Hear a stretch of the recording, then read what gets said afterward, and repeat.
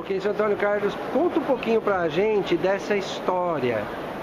É, é uma história que veio de uma dificuldade doméstica. Na época, meu filho Vinícius era o caçula, com 9 anos. Ele tinha uma dificuldade muito grande de se concentrar, quase um TDAH. E ele não conseguia fazer as tarefas, não conseguia se concentrar nos estudos. E aí comecei a fazer tudo aquilo que normalmente um pai faz psicólogo, psicopedagogo, ambiente isolado, disciplina um pouco mais rígida e nada disso estava surtindo efeito. 95% das crianças diagnosticadas com TDAH, elas não nasceram assim. Elas nasceram absolutamente normais. E as experiências, os estímulos, o processo educacional é que não estimulou corretamente a área do cérebro responsável pela atenção continuada que é a área que é o cingulado do córtex pré-frontal. Então, se você for na Índia, por exemplo, não existe TDAH. Por quê? Porque as crianças desde cedo são devidamente estimuladas e essa área do cérebro ela é completamente desenvolvida. Então, sabendo disso, a gente sabe que 95% das crianças com esse diagnóstico, elas podem passar por um processo de estimulação dessa região para que ela supere essa dificuldade. E o ábaco faz justamente isso. Estimula essa Estimula área do cérebro. Estimula a área que é o cingulado do córtex pré-frontal.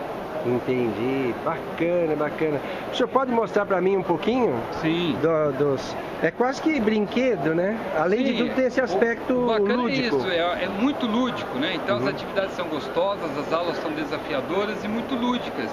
Então a criança desenvolve, aprende, desenvolve as habilidades de uma forma assim muito gostosa e prazerosa, né? Então esse aqui é o ábaco, mas esse aqui é o ábaco utilizado pelo professor ah, para tá. ensinar os alunos. O ábaco dos alunos é esse menor.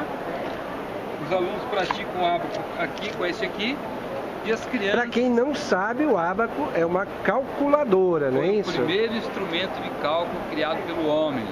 Ele remonta na China há mais de dois mil anos atrás. Ok, né? chinês sempre na frente. Sempre na frente. E esse aqui é o ábaco para as crianças abaixo de seis anos. Olha, que interessante. Elas começam a trabalhar a partir dos três anos. Tá. Né? E aí elas trabalham com este ábaco. Nós temos alunos desde 5 anos até hoje, a nossa aluna mais antiga, ela tem 101 anos. Então, não tem idade. Não tem idade, porque as crianças, elas buscam superar o TDAH, melhorar o desempenho na escola, os jovens passar no vestibular, os adultos melhorar a empregabilidade, passar no concurso público. Todos esses jogos que eu estou mostrando aqui têm essa função. Essa função. Mexer com, com, o cérebro, com, o cérebro, com essa estimular. parte. É... Não só essa parte do córtex pré-frontal, como diversas outras partes. Então a gente desenvolve, desenvolve diversas habilidades. E os idosos, eles precisam fazer o supera para quê? Para exercitar o cérebro e envelhecer mantendo o cérebro saudável, mantendo a qualidade de vida. O conselho, na verdade, é o seguinte: saia da zona de conforto sempre. Diga não à rotina de uma forma inequívoca. E aí você estará sempre mantendo seu cérebro saudável. Muito obrigado.